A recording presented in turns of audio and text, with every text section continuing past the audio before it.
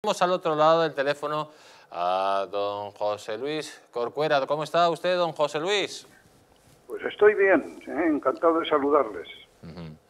Don José Luis, la verdad que hemos hablado en otras ocasiones y usted, cuando dejó el Partido Socialista hace ya cuatro años, pues se imaginaba que iba a pasar esto, por eso precisamente lo dejó, porque no se fiaba en absoluto del señor Sánchez. Y como hemos visto en estos vídeos, pues es capaz de decir una cosa a la contraria y la del revés, ¿no?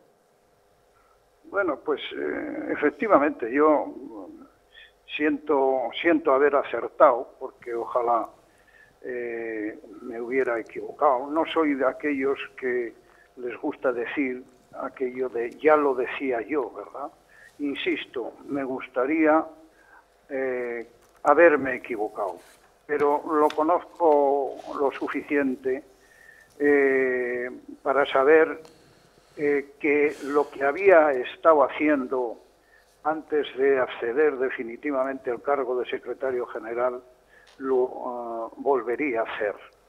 Y como lo que había estado haciendo antes es eh, traspasar todas las líneas rojas que le habían marcado los órganos de control del partido, de con quién podía y no podía pactar, pues estaba seguro que iba a hacer lo que luego efectivamente ha hecho pero estamos en presencia de una persona que ha hecho de la facultad de eh, no decir la verdad un hábito, eh, como si no existiera hemeroteca, dice una cosa y la contraria en cosas que son eh, absolutamente fundamentales para la convivencia de los españoles.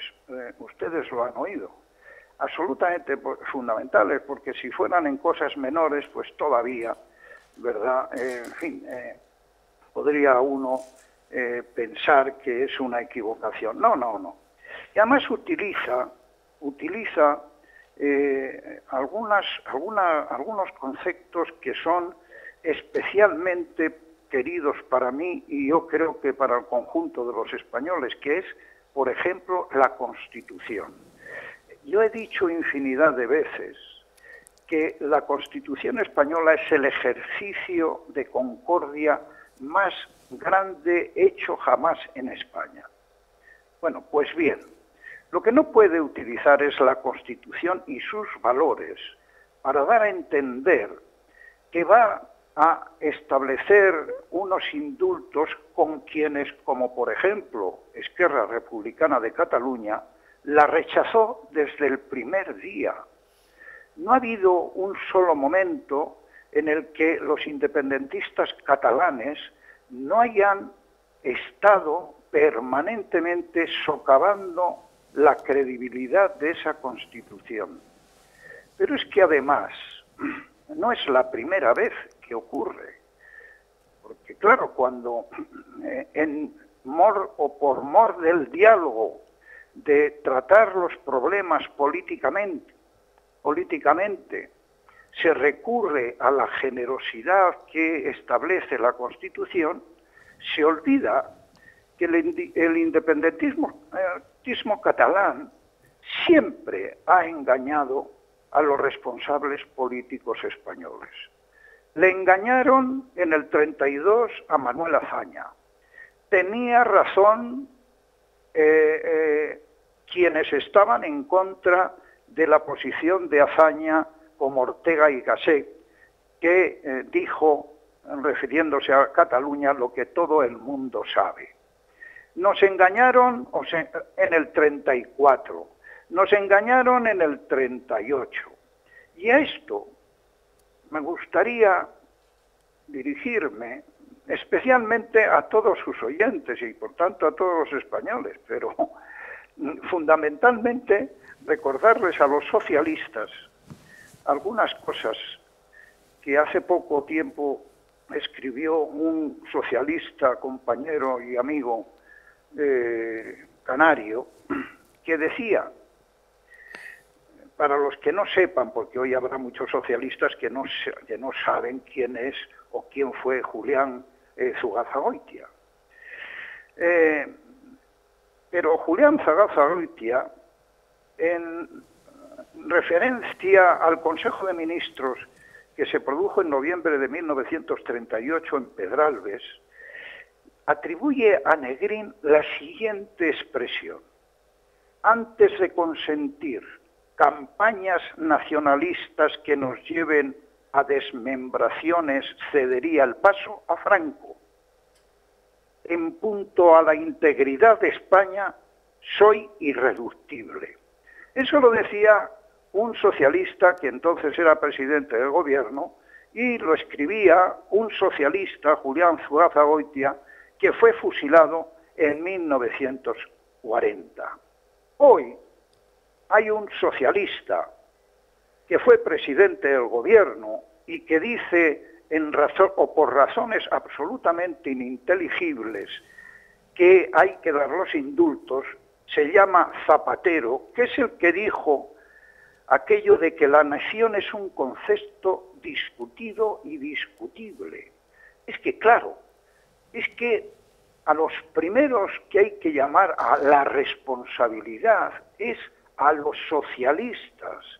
Los miembros del Partido Socialista son los primeros que tienen que poner pie en pared e impedir que aquellos que estaban hace unos años defendiendo del Partido Socialista, me refiero, el derecho a decidir, que se votó en el Parlamento y esos socialistas votaron a favor, no sean hegemónicos en las políticas que pueda hacer el Partido Socialista.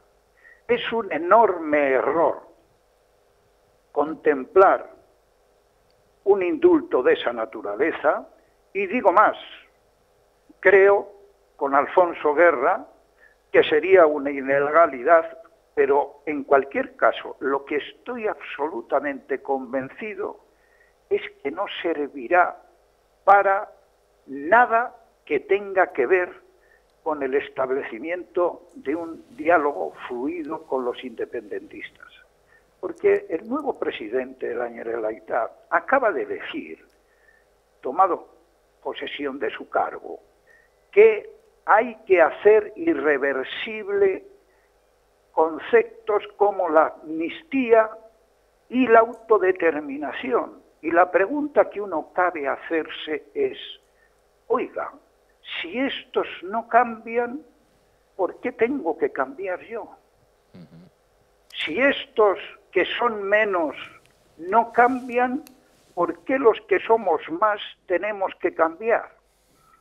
Si estos que, siendo menos, menos, no están dispuestos a respetar la Constitución, incluso si quieren cambiarla, que utilicen los mecanismos que la Constitución establece para ser cambiada. Pero estos que quieren cambiarla por las bravas, si son menos, ¿por qué nos tenemos que rebajar los que somos más? Oiga, capacidad de diálogo toda, pero con aquel que quiere negociar, con aquel que quiere no negociar, dialogar. Pero ¿qué es esto de tratar de diferente manera a un extremeño, a un riojano, a un madrileño, a un valenciano o a un catalán, porque sea independentista.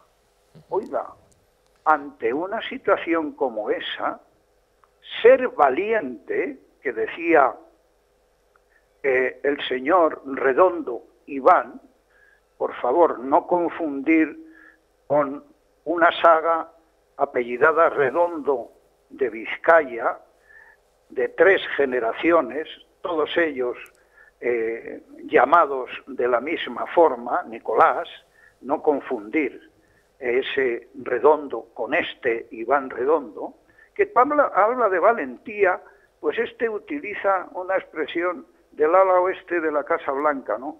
Que se tiraría por un barranco que se tire él si quiere, yo no quiero que se tire por ningún lado. Lo que no quiero es que tire el futuro de España por un barranco.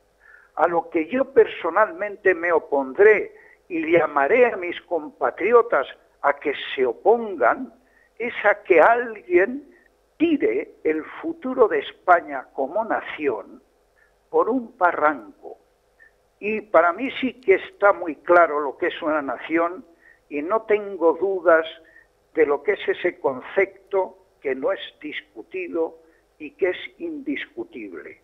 Yo sí que sé lo que es una patria, yo sé lo que es una nación por la que hemos trabajado durante muchos años, una constitución donde los distintos llegaron a acuerdos en 1978 y no es posible que hoy unos déspotas, unos déspotas iletrados, porque en mi época había entonces déspotas a los que llamábamos ilustrados. Ahora no, hay unos déspotas iletrados que pretenden no hacer caso ni de la historia de España con los independentistas catalanes, ni del presente de España con los independentistas catalanes.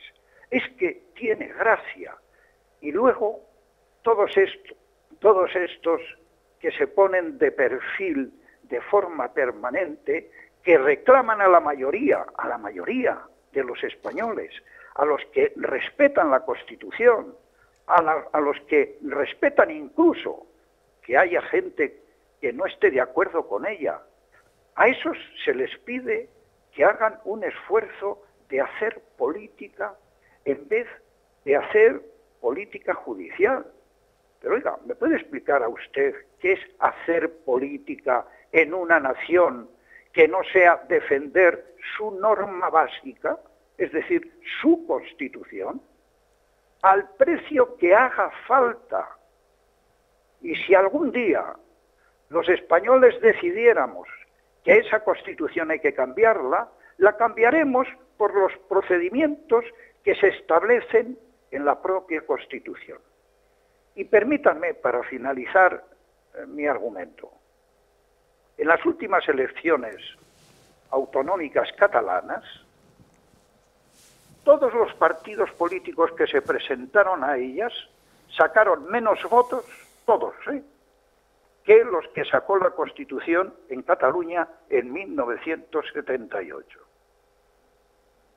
Por tanto, la Constitución, los valores que establece la Constitución no están concebidos para dar un indulto a quienes no solamente la, quisieron derribar, sino que incluso llegan a decir que volverán a hacer lo mismo.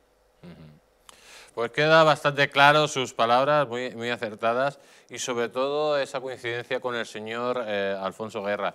Don José Luis Corcuera, muchísimas gracias por haber estado aquí en el Mundo al Rojo. Cuídese usted mucho. Muchas gracias a ustedes. Un fuerte abrazo.